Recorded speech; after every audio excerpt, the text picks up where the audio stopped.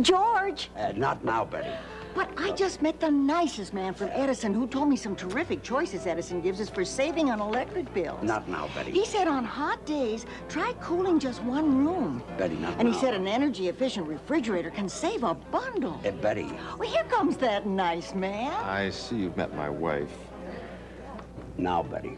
Now. Now. For a free do-it-yourself home energy survey, call Edison.